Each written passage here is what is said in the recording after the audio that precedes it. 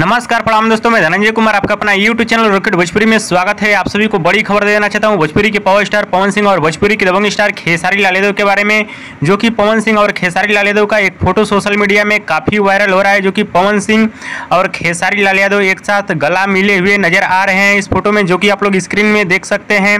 बताया जा रहा है कि पवन सिंह और खेसारी लाल यादव एक बंद कमरे में, यानी होटल में, आपस में मिले हैं, बातचीत किए हैं, बहुत सारी बातचीतें हुई हैं। और आपस में गले मिले हैं और फुट फुट के आपस में रोए हैं, जो कि आप लोग देख सकते हैं।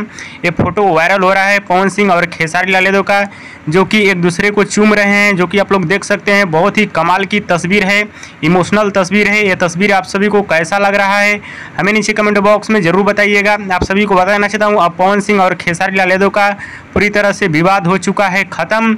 और अब पवन खेसारी आपस में शायद विवाद नहीं करेंगे।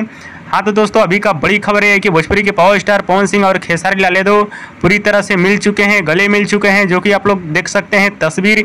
ये आप सभी को तस्वीर कैसा लग रहा है पवन सिंह और खेसारी लाल यादव का? ये नया तस्वीर हमें नीचे कमेंट बॉक्स में ज़रूर बताइएगा और हमारे इस वीडियो को आप लोग पूरा ज़रूर देखिएगा। और दोस्तों, भोजपुरी के पावर स्टार पवन सिंह और भोजपुरी के दबंग स्टार खेसारी लाल यादव जी का वीडियो पसंद है तो ज़रा लाइक करें कमेंट करें शेयर करें सब्सक्राइब करें। धन्यवाद दोस्तों।